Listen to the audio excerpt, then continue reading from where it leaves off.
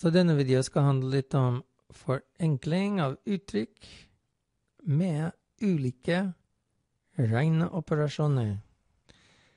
Og det bare betyr at uh, vi skal ha uh, noen matteuttrykk som, som har kanskje både pluss og ganging, eller pluss og minus og deling. Så det er ikke bare pluss eller bare minus, og så. Så vi skal først ta den eksempel her. Og vi bare leser den. Uh, 15 pluss 10, det er 25.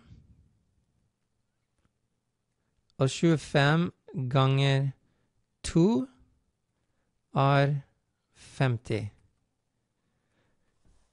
Så nå har vi svar.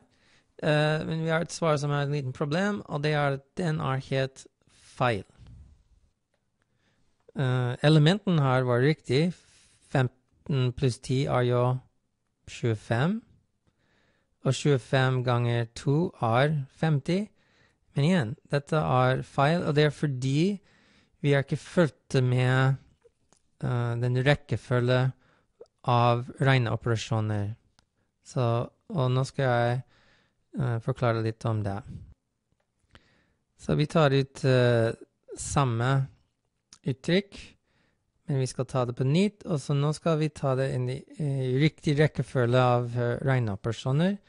Og denne rekkefølgen ser sånn ut. Dette er en kort måte å, å skrive at jeg først tar parenteser. Denne oppgaven har ikke noen parenteser, så det er ikke en sak her. Neste tar jeg ganging og deling. Og når jeg er ferdig med det, i slutten jeg tar pluss og minus. Og hvis jeg tar uh, en uttrykk i denne rekkefølge, så kommer jeg til riktig svar. Så la oss ta det, da, ta det på nytt da, og tenke litt om rekkefølgen. Som jeg sa, det, det er ingen parenteser, så det er ikke en sak for oss. Men det er ganging. Så det første jeg skal ta, er ganging. Og ti ganger to er 20. Og da må jeg ta resten, som, som er pluss og minus. Og da er det 15 pluss 20 og det er lik 35. Og 35 er ikke likt 50. Igjen, 50 er rett og slett feil, For, fordi vi har lest på en måte den uttrykk på en feil måte. Dette, dette her er nesten noe du kunne kalle for grammatikk Grammatikk Sier det feil? I, i matte.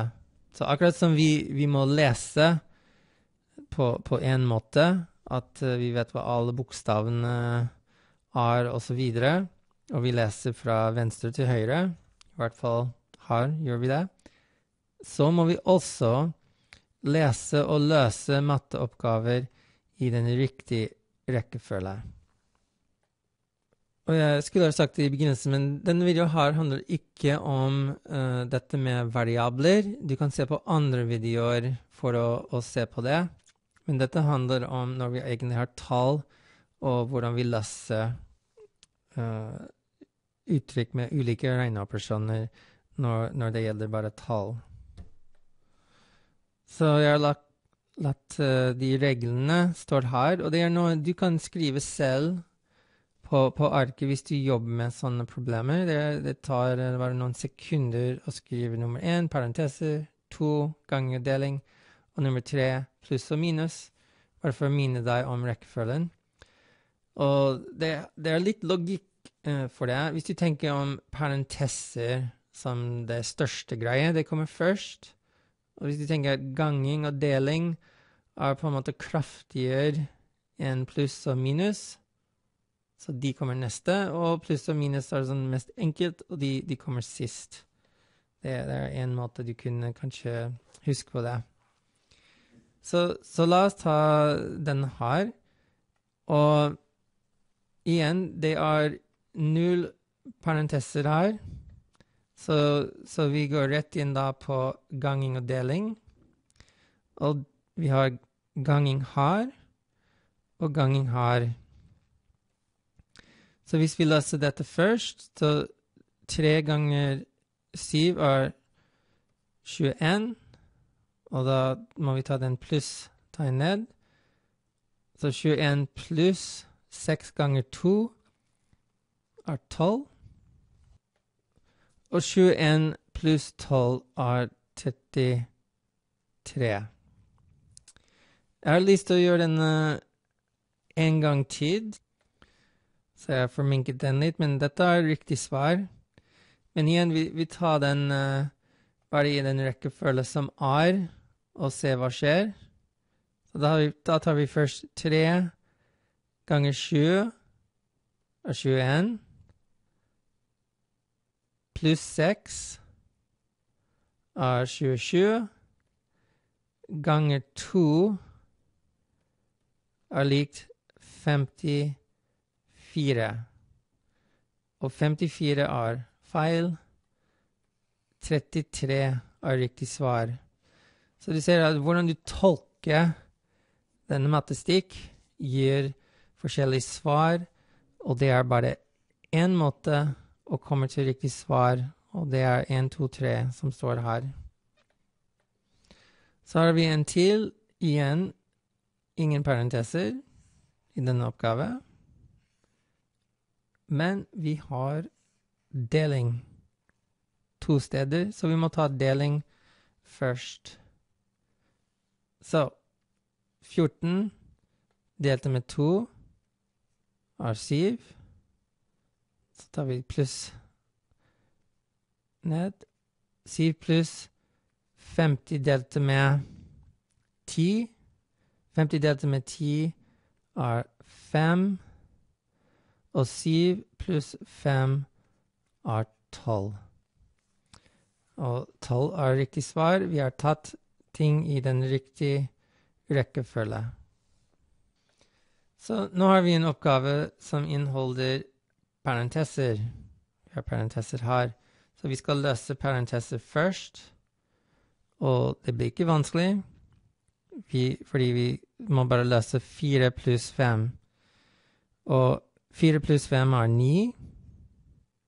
Og når den treer ligger tett inntil parentesene, det betyr tre ganger det som er inni parenteser, og tre ganger ni er 27. Og det er riktig svaret. Og så nå har vi en til problem hvor vi må begynne her med parenteser, fordi vi har to sett med parenteser. Så vi må først løse dem. Da går vi inn her og tenker fire pluss to blir seks. Så det er tre ganger seks. Og da er det minus to ganger 3 minus 8. Så og 3 minus 8 er minus 5. Og det er to ganger minus 5. Og jeg setter de parenteser der rundt minus 5 bare for å holde det ryddig. Men nå kan vi gå videre. Vi har løst ut uh, parenteser, så nå skal vi over til ganging og deling. Vi har to sett ganging. En her og en her. Og tre ganger seks er 18. Den minustegnen kommer ned. Og to ganger minus fem er minus ti. Jeg setter parenteser her bare for å holde, holde det litt ryddig. Og så husker vi fra reglene at minus in minus er det samme som pluss. Så da er dette her 18 pluss 10. Og 18 pluss 10 er 28. Ok, og her har vi den siste jeg skal ta. Og vi merker at det er noen parentesser her. Men de parentesser er akkurat som de som var i forrige videoen. Du, du merker at det er ikke noe løse innenfor parentesser. Det er bare én ting som står inn der, så det er ingenting å, å løse, egentlig. De parenteser er bare for å holde ting litt ryddig, så, så at vi ikke blander ting. Så de bare sier at uh, dette her er minus to, og dette her er minus tre, og vi prøver å holde dem litt bort fra de uh, tegnene her. Så da må vi rett over til ganging og deling, og vi har begge deler i denne vi kan ta hva som helst først. Har vi seks ganger minus to. Det er minus tolv. Da er det pluss ni delt med minus tre. Ni delt med minus tre er minus tre. Jeg setter den der, bare for å holde de tegnene her bort fra hverandre. Det er likt minus 12 pluss minus 3 er det samme som minus 12 minus 3, og det er minus 15. Så dette var mest for å bare minne dere om at, at vi skal ta parentester først, men når du ser sånne ting, så de parentester er bare for å holde ting litt ryddig, det er ingenting å løse innenfor, så da må du over og se hvis det fins noen deling eller ganging først. Ta det først, og, og så gå videre til, uh, til pluss og minus etterpå. Og du kan se litt mer inn i spillelisten her for å lære litt mer om uh, algebra og tall.